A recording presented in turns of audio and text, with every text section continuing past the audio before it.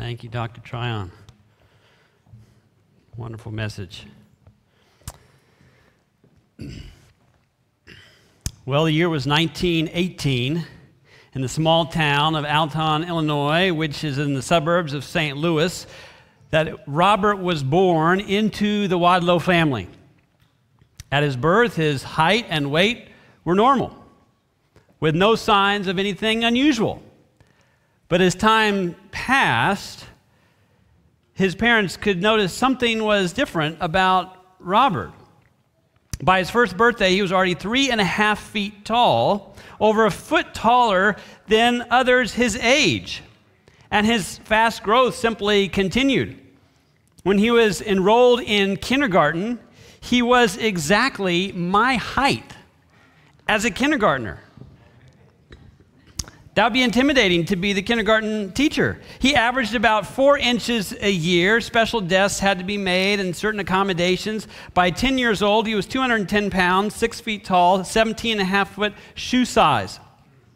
In fact, here is a picture in the paper when he visited Atlanta, Georgia. He is 13 years old, and he's next to his nine year old brother and his father. And here Robert is standing at seven feet four inches. Parents, how would you like the challenge? I have two teenagers at home, soon to have three teenagers at home. Uh, that would be a little bit daunting to have to lecture my son that was seven feet four inches. Robert, I need you to go to your room, sit on your bed. I'll be up in a minute and we're going to talk.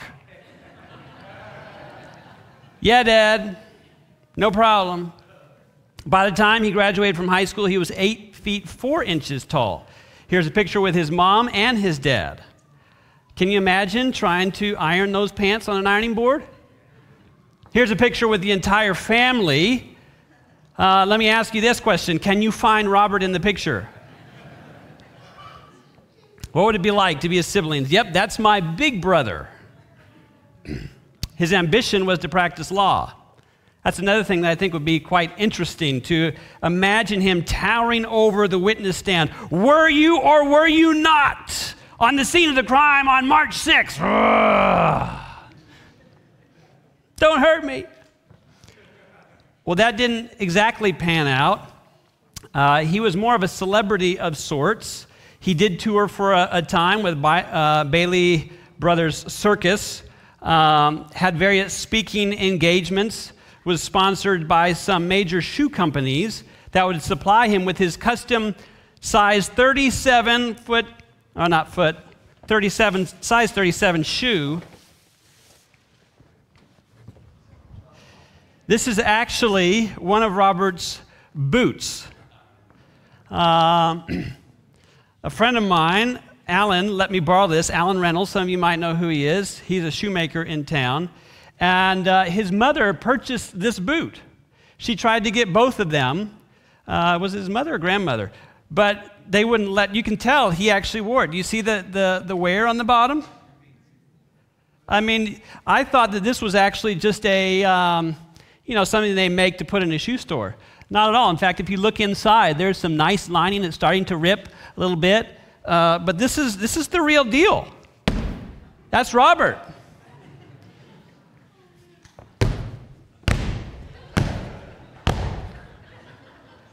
I mean, can you imagine? Look at where this thing comes on me. Let's just do a little comparison here.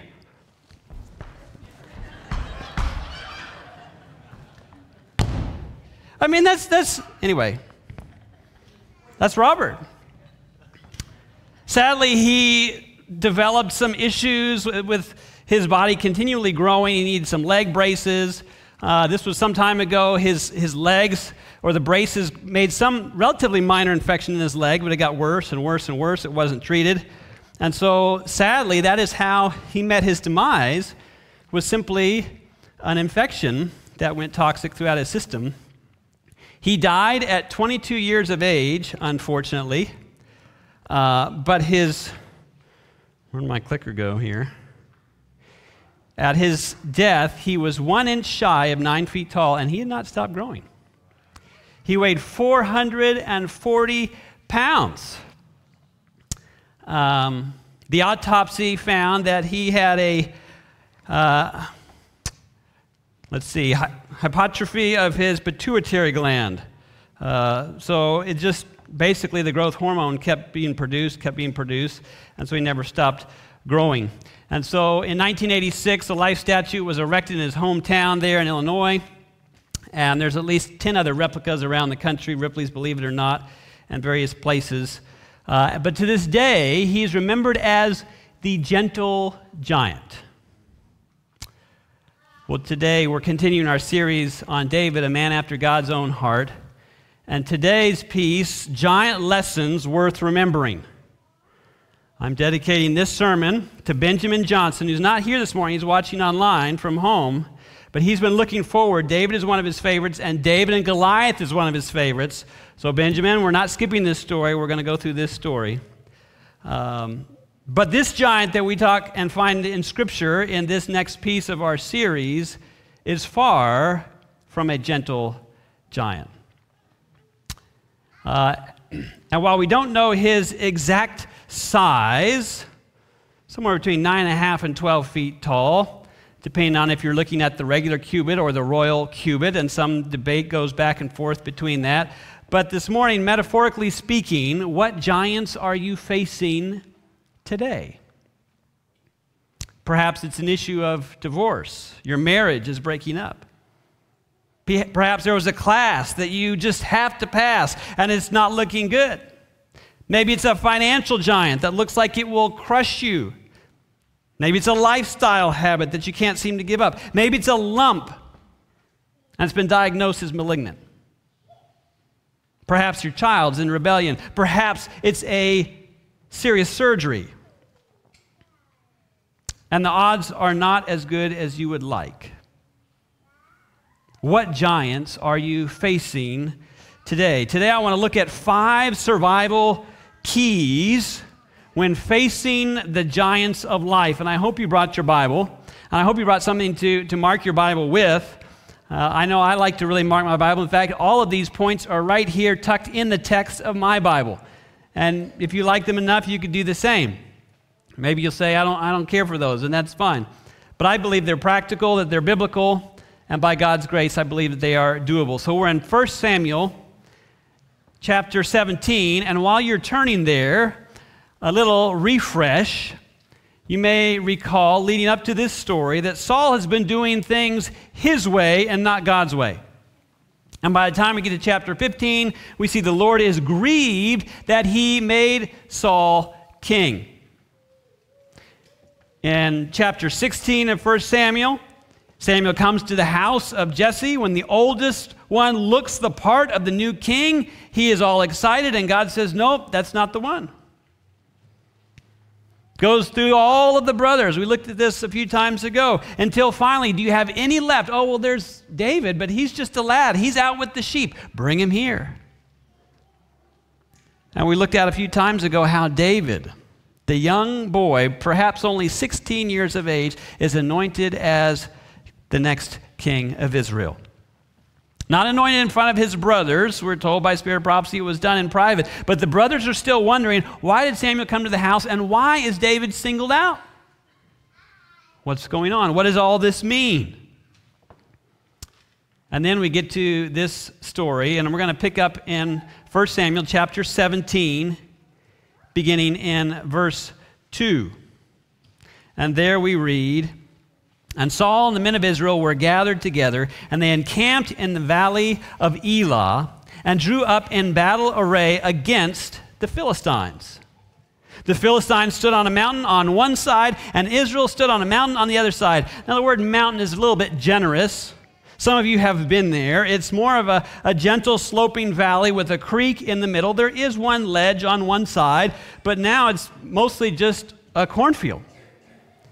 Uh, and it's, it's an interesting place to be as you think and you ponder all of the enemy forces on this side and then the Israelites on the other side. And there is this line that is drawn naturally by the valley. And this is where they were. Verse 4 And a champion went out from the camp of the Philistines named Goliath from Gath, whose height was six cubits and a span. And he had a bronze helmet on his head, and he was armed with a coat of mail, and the weight of the coat was 5,000 shekels. That's 125 pounds. I was trying to remember what I weighed as a freshman in high school. It was something close to that. This is just his armor. And he had a bronze armor on his legs and a bronze javelin between his shoulders. And now the staff of his spear was like the weaver's beam, and his iron spearhead weighed 600 shekels. That's about 15 pounds. And shield bearer went before him. I mean, talk about intimidation. In every way you can possibly imagine, here comes Goliath in all of his brute force in all of the, the latest of technology, if you will, in terms of his armament, who is able to go against Goliath? I mean, if Robert Wadlow was 440 pounds, and in fact, we, we read here in Spirit Prophecy, volume 1, 370, but the Philistine proposed their own manner of warfare in selecting a man of great size and strength whose height was about 12 feet. So if we take that, if we take it as the royal cubit, 12 feet tall, let's do this for a minute. If I'm holding this tape measure, this is about four feet right here. 12 feet from this spot, I need to go another eight feet up. Right about there. On the floor. Here, come put it over here by the boot. Can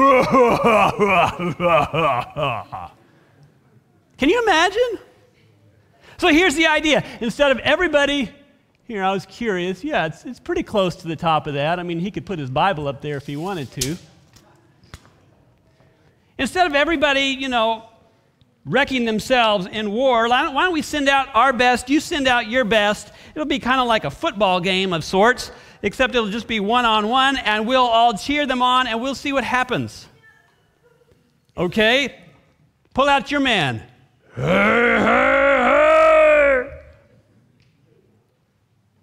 Who do you have? Can you give us five minutes? Huddle. Who do we have? I don't know. We don't have anybody like Goliath. No joke. What are we going to do? I don't know. Let's stall. How long can we stall? I don't know, but every day we stall is a day we stay alive. Good plan. Mercy. And so we continue in verse 8. So Jesse, no, no, no, wrong chapter. Verse 8 over here. Then he stood and cried out to the armies of Israel and said to them, why have you come out here to line up for battle? Am I not a Philistine and you the servants of Saul? Choose a man for yourselves and let him come down to me. And if he is able to fight with me and kill me, then we will be your servants. But if I prevail against him and kill him, then you shall be our servants and serve us.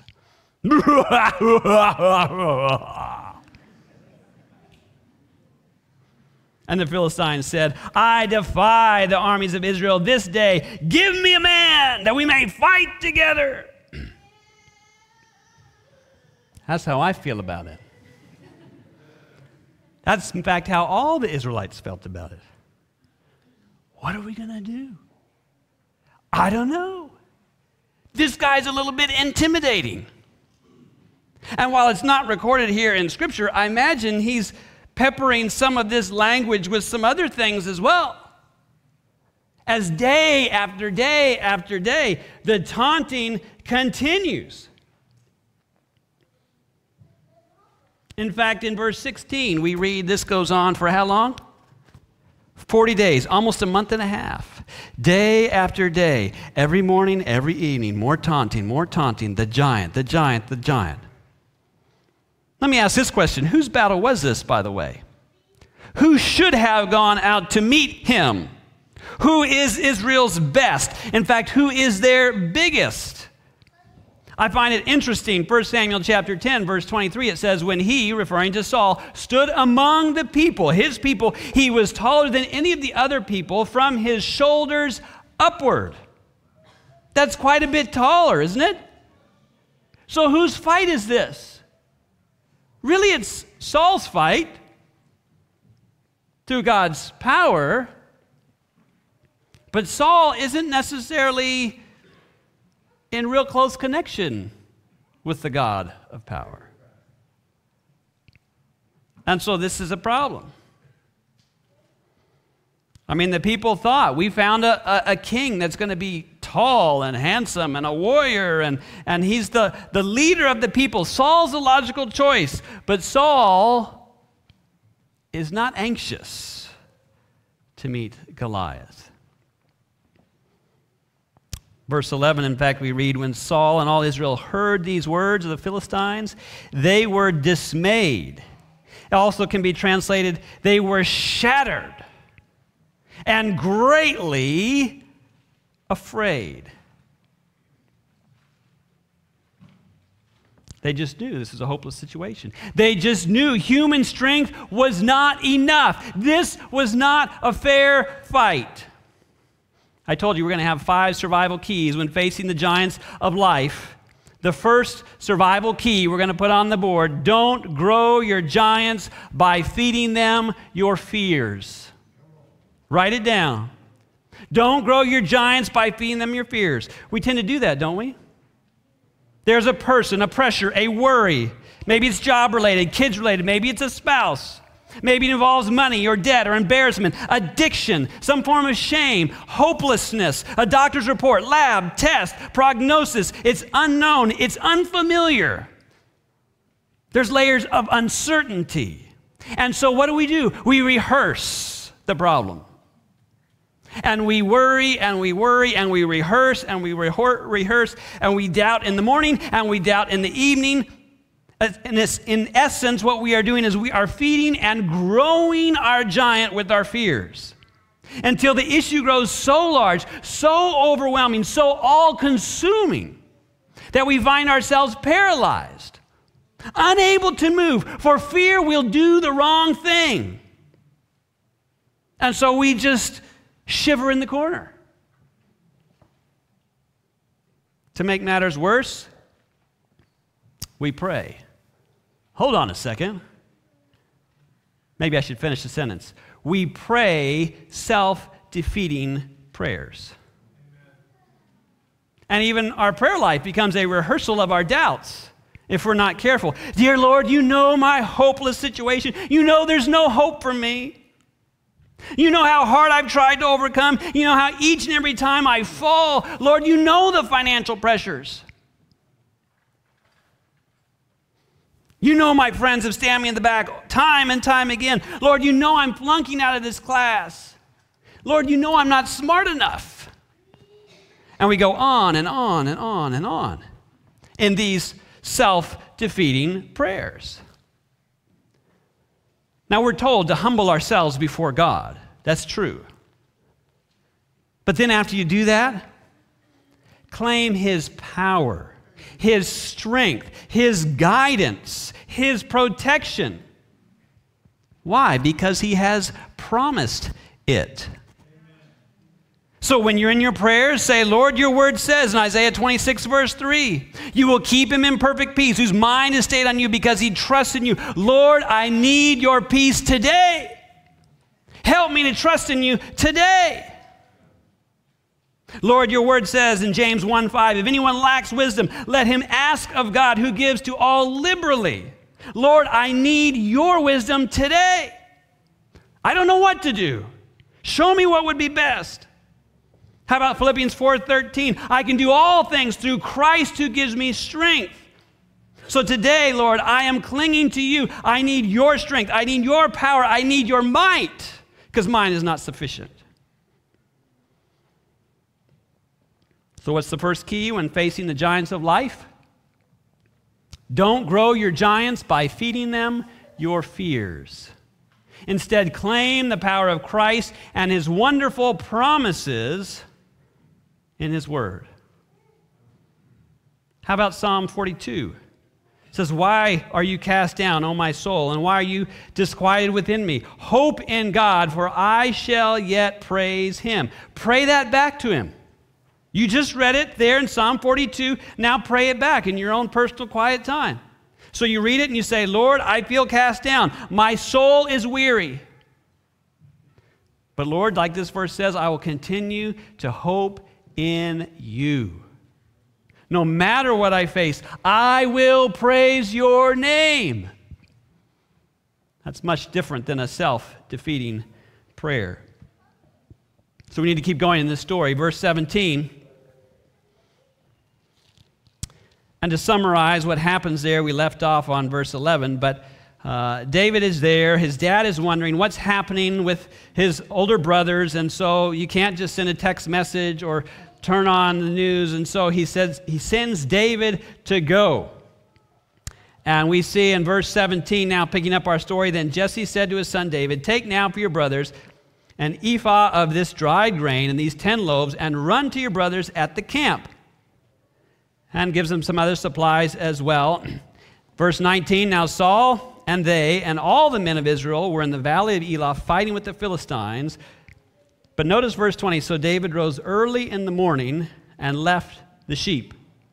We've already pointed out in other sermons that he's anointed as king, but he's not self inflated, but he goes back to the sheep. And on this particular morning, that's where he wakes up with the sheep, but he wakes up early.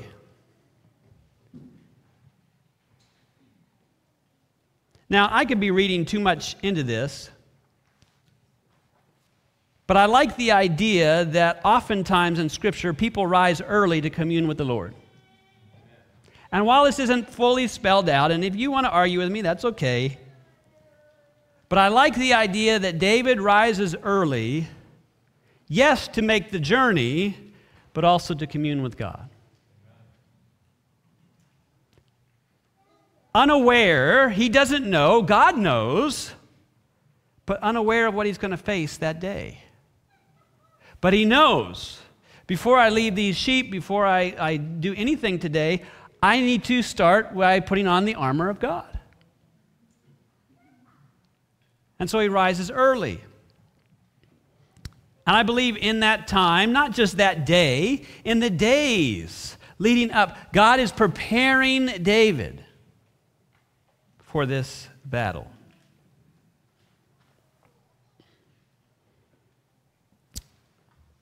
Do you put on the armor of God every day? You and I don't know what day is going to be that we have to face a giant, do we? Do giants always come announced? Sometimes, not always. And when they do, will you be prepared to meet them? Patriarchs and Prophets 645 says this But unknown to Jesse, the youthful shepherd had been entrusted with a higher mission.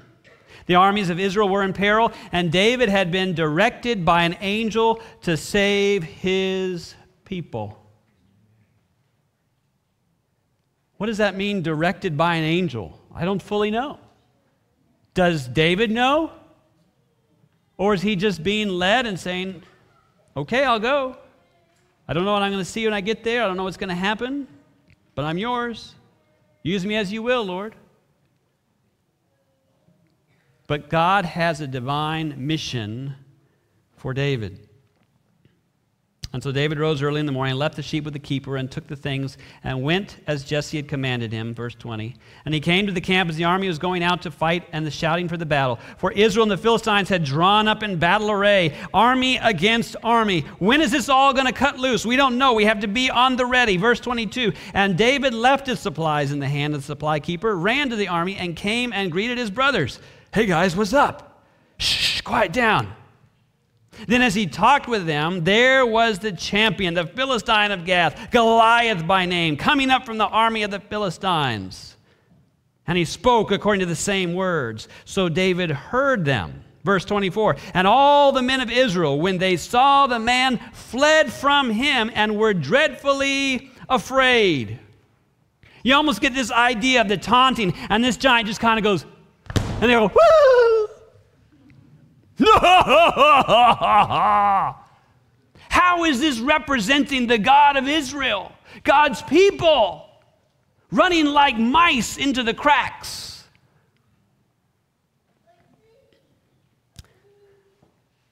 So the men of Israel said, Have you seen this man who has come up? Surely he has come up to defy Israel. And it shall be that the man who kills the king will enrich with great riches, will give him his daughter, and give his father's house exemption from taxes in Israel.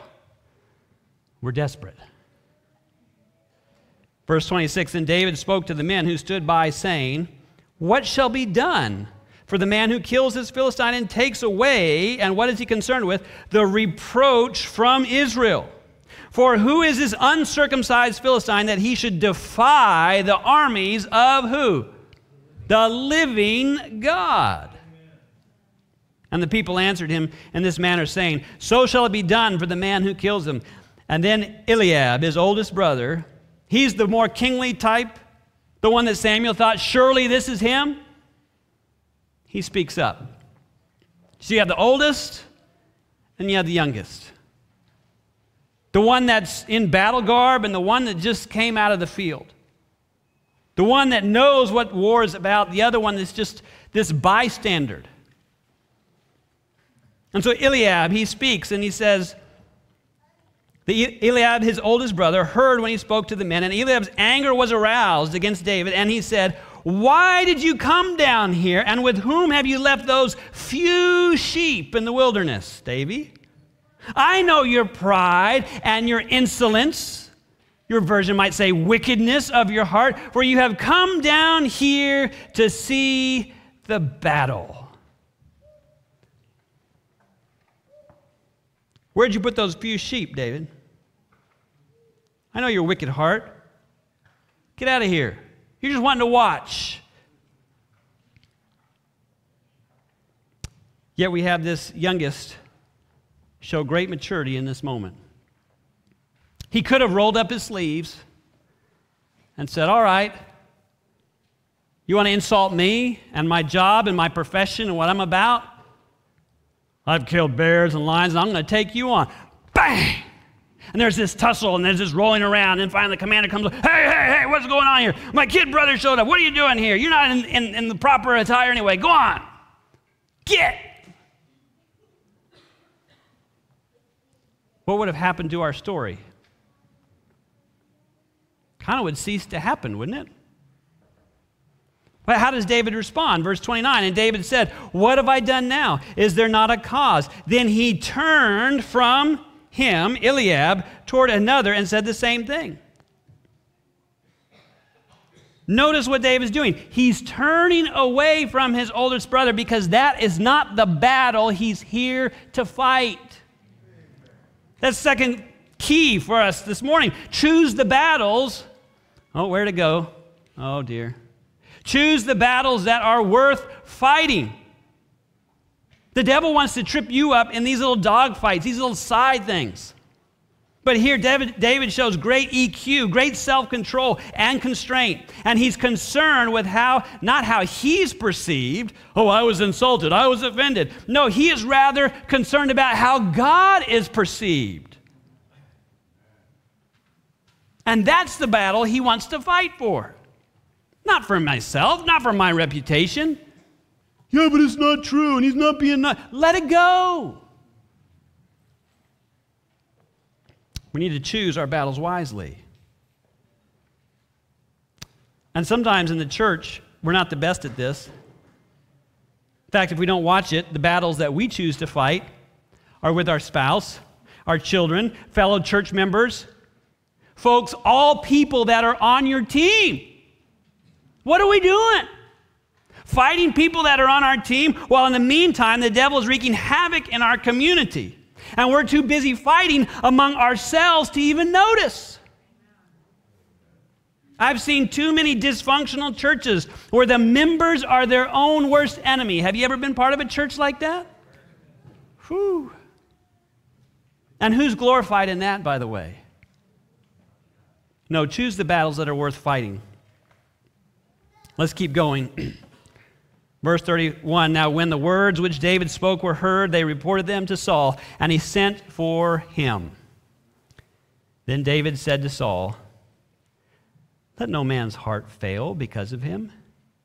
Your servant will go and fight with this Philistine. I imagine Saul scratches his head. I mean, he says it with confidence and humility. Sounds like he knows what he's talking about, but still, he says in verse 33 You're not able to go up against the Philistine to fight with him, for you are a youth, and he's been a man of war from his youth. But David said to Saul, verse 34, Your servant used to keep his father's sheep. And when a lion or a bear came and took a lamb out of the flock, I went out after it and struck it and delivered the lamb from his mouth. And when it arose against me, I caught it by its beard and struck and killed it. Your servant has killed both lion and bear, and this uncircumcised Philistine will be like one of them seeing he has defied the armies of the living God. Moreover, David said, The Lord, who delivered me from the paw of the lion and from the paw of the bear, he will deliver me from the hand of this Philistine. Let's be clear, King. It's not because of my skills when I was in Africa, we went out in some far off bush and talked to some people that were there. And one of these guys was a, a, a short individual. To be a man in that culture, you had to kill a lion with only a spear. How do you kill a grown lion with a spear?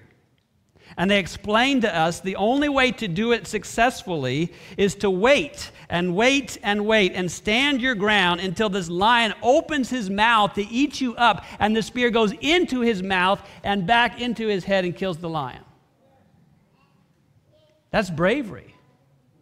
But David here isn't saying, Look how brave I am. He's saying, No, the Lord who delivered me from the lion and from the bear. He will deliver me just the same from this Philistine.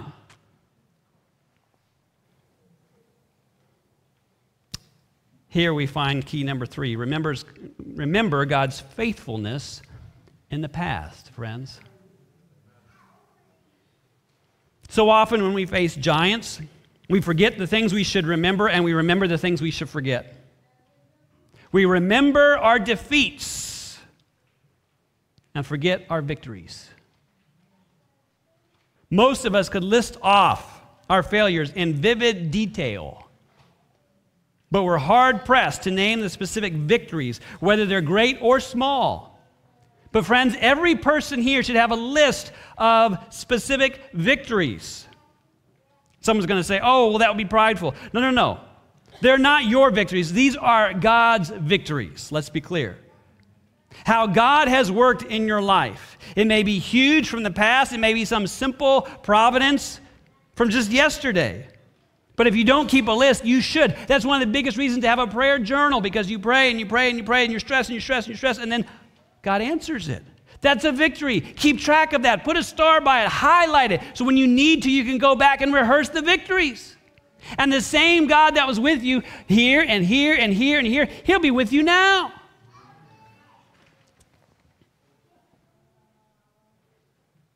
I've seen Christ change the most hardened heart. I've seen God reverse financial trials. I've seen on mission trips when there was no way. The passport was left in a plane over there, and somehow a lady went out that door and she grabbed the passport and came back in this mysterious door. And, mysterious? Anyway, mysterious. And here it is. I've been on mission trips where the, the tire was running flat and it made it all the way to the place we were, and then eventually it went flat at the last possible moment. I've had times when God has spoken to me miraculously in His Word, and you have too. When God told you very plainly, this is what to do. Maybe even spoke to you through a sunset or a sunrise or some other such thing. Record when God speaks through His Word, when He gives you victories. Life Sketches 196. We have nothing to fear for the future. Nothing to fear, except as we shall forget the way the Lord has led us and his teachings in our past history. So the devil wants you to forget. That's, it's just that simple. But if we don't forget, we have nothing to fear for the future. The God that was with us yesterday will be with us today as well. So, finishing verse 37, and Saul said to David, Go, and the Lord be with you. Here, Saul is essentially covering up the fact that he's really not connected with God, but he is able to still put out those cliches. Go, and the Lord be with you. And so Saul clothed David with his armor. Notice that. And he put a bronze helmet on his head, and he also clothed him with a coat of mail. Who has all this stuff? Whose battle is this? And David fastened his sword to his armor and tried to walk, for he had not tested them. And David said to Saul, I cannot walk with these, for I have not tested them. So David took them off. Can you imagine clamoring around? I mean, Saul is a 52 long, David is a 36 regular. It doesn't fit. Stuff's dragging all over the place, clunking around. And David says, I haven't tested these. I don't know how to, to fight with this. And he takes it all off. Here's another key Fight in your own armor.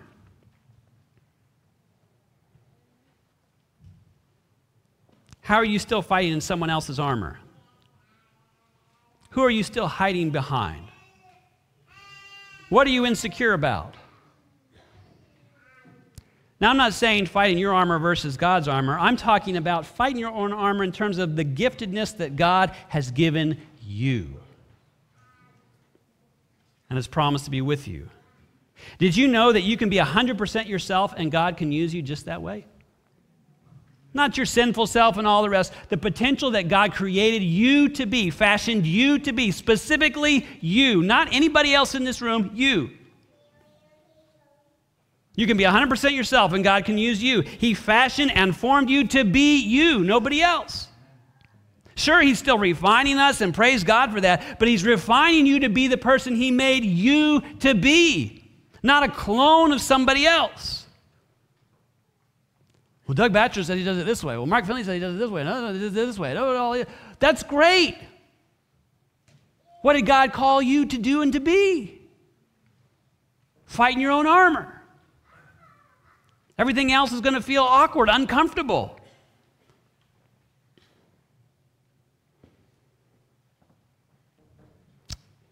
So be who God created you to be. All right, we need to finish this story. Still building, verse 40. Then he took his staff in his hand. He chose for himself five smooth stones from the brook. Here is one such stone from that brook. It's one of my favorite places on this Holy Land tour because it's very natural. There's no buildings, there's no shrines, there's no temples. It's still just a field. Looks like it could come out of Mills River. Kind of slants down in the, in the middle. There's a little creek that sometimes flows and sometimes not as much. Dr. Hosel says, I always envisioned a small pebble, if you will. He said, no, it was more like a, a baseball or softball. And the creek is still there. I just happened to take one with me when I was there. And so he gets five of these. Maybe they're a little smaller, maybe not. I don't know. Some have suggested, well, Goliath had four brothers, and so he was prepared. I don't know. Maybe. But he slips these in his pocket. I imagine his adrenaline is flowing, but I imagine there's also a peace that David has, that God's with him. So he himself chose five smooth stones from the brook and put them in his shepherd's bag in a pouch which he had and his sling was in his hand, and he drew near to the Philistine. So the Philistine came and began drawing near to David. Here they're going closer and closer to each other. And the man who bore the shield went before him. Cheater. And when the Philistine looked about and saw David, he disdained him, for he was only a youth, ruddy and good looking. So the Philistine said to David, Am I a dog that you come to me with sticks? And the Philistine cursed David by his gods. And the Philistine said to David, Come to me, and I will give your flesh to the birds of the air and the beasts of the field. I'll just pop your head off. How insulting. And I imagine there's this moment of silence as his booming voice echoes in the valley. And David said to the Philistine, All can hear this, by the way. You come to me with a sword and with a spear and with a javelin. But I come to you in the name of the Lord of hosts, the God of the armies of Israel, whom you have defied. This day the Lord will deliver you into my hand, and I will strike you and take your head from you. And this day I will give your carcasses to the camp of the Philistines, to the birds of the air, and to the wild beasts of the earth, that all the earth may know that there is a God in Israel. Then all this assembly shall know that the Lord does not say with sword and spear, for the battle is the Lord's, and he will give you into our hands.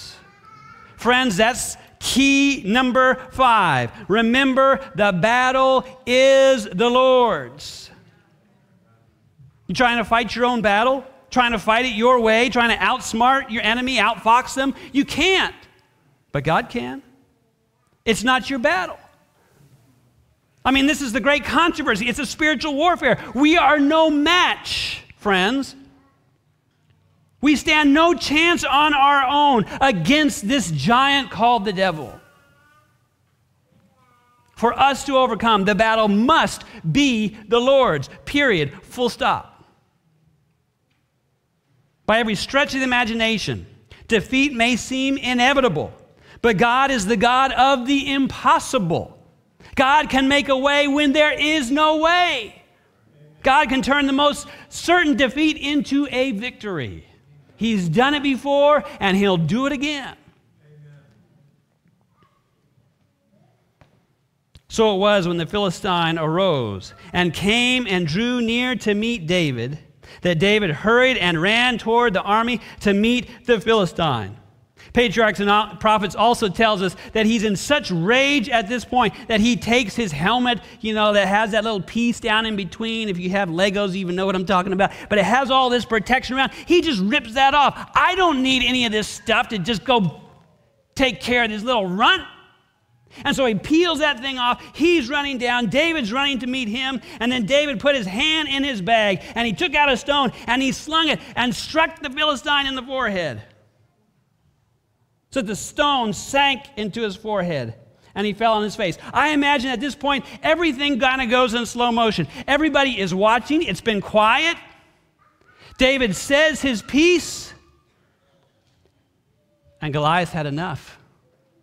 It's go time. And he starts running. Boom, boom, boom, boom,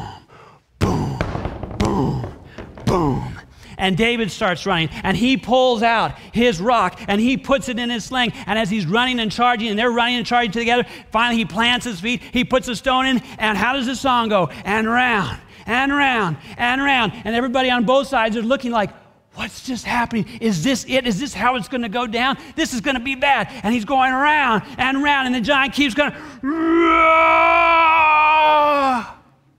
And he throws that stone, and sling it goes. Heat seeking stone. And it comes right up, and we're told he puts his arms out in spirit prophecy like he's blind, and he stumbles a few times. Scripture tells us it sinks into his forehead. Ugh. And he's stumbling. Ellen White describes like a giant oak falls flat on his face. Can you imagine that? We're still in slow motion. He's going down, and you just feel or, or hear that huge head hitting the ground and goes, And still there's that moment of silence until everybody says, What? And the Philistine side says,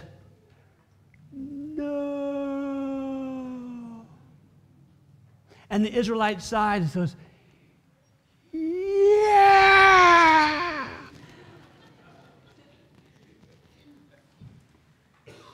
And then there's the gory part of the story. David takes his own sword, two hands, I imagine. He has to get this thing. it's probably taller than him. Finishes the job, takes the head back to Jerusalem. The armies of Israel are charging the Philistines. The whole battle has changed in a moment. And then it even says that David takes his armor back to his tent. Can you imagine? I don't know if we're going to be able to do it this time. Yeah, I was wondering that too, but was, then again, I looked at this armor. Like, I need a bigger tent. Can God do the impossible? When there is no way? In fact, does God delight in doing it that way? Because everybody knew it wasn't David. They all knew it was God.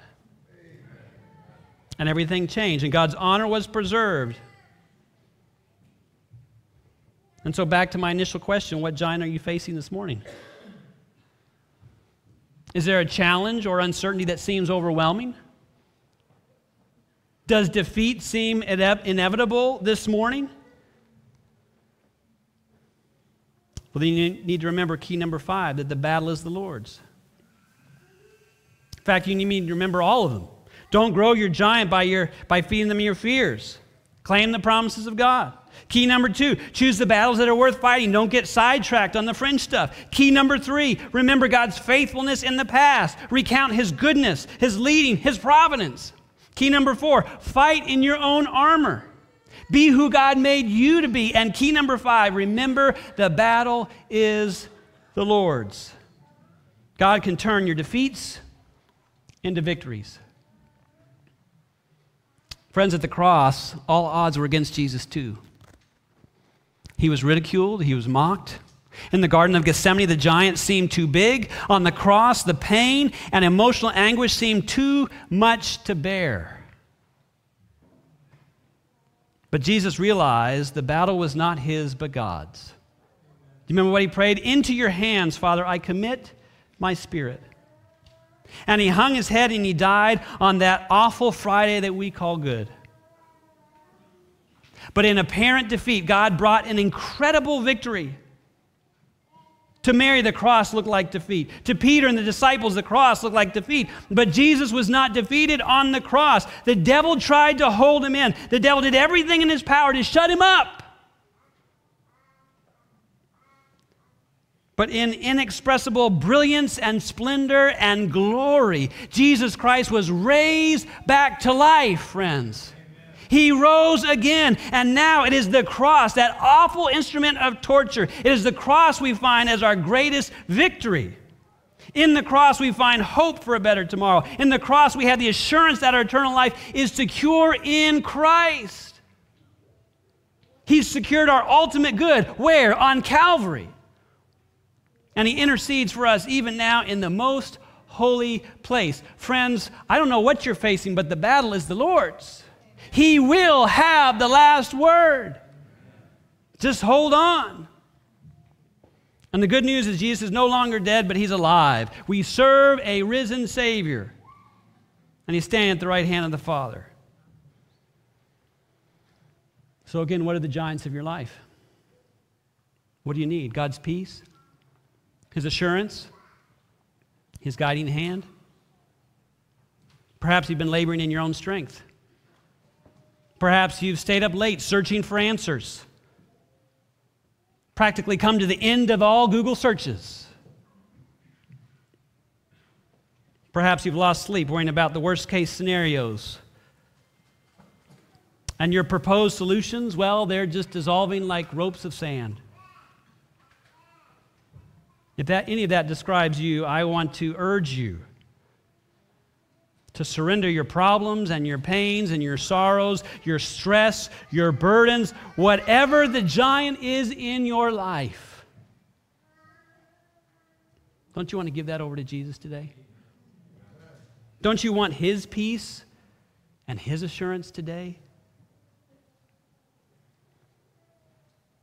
Don't you want to let Him fight your battles today?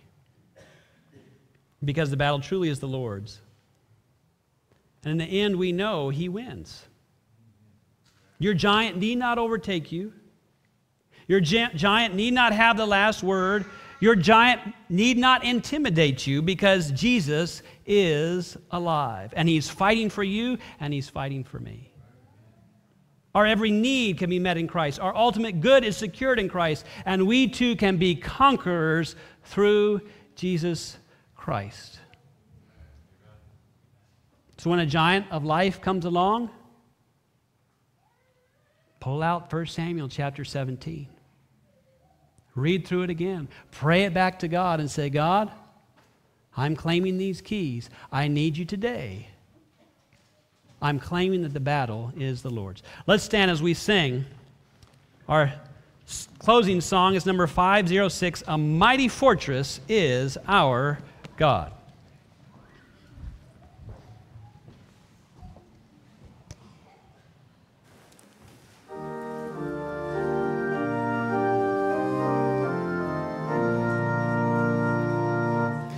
A mighty fortress is our God.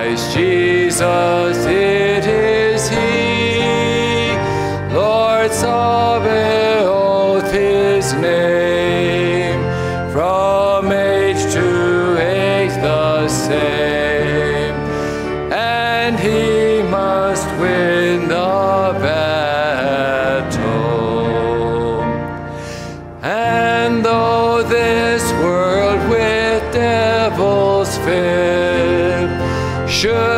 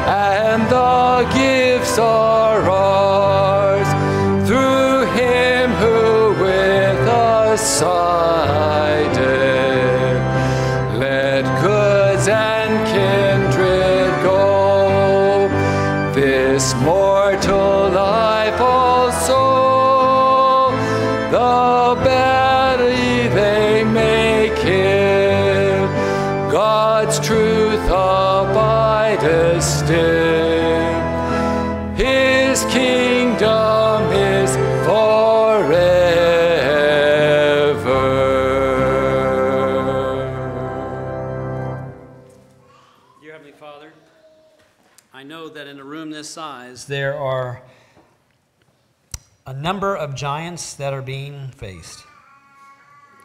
And Lord, we recognize that we are no match.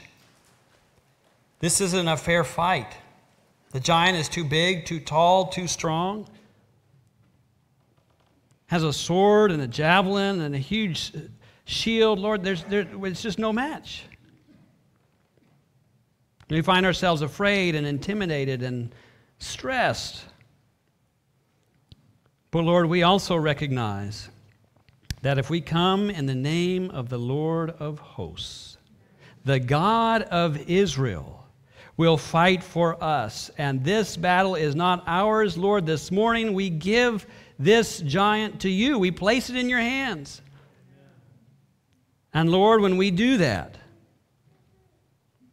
the saying is true yet again this giant is no match for you. Every giant is a dwarf in comparison to the God that we serve. And so, Lord, we lay hand to your hand. We hold tightly to you. We ask that you will provide a way where there seems to be no way, that you, in your time and for your glory, will bring down this giant in your way. We pray in Jesus' name. Amen. You may be seated.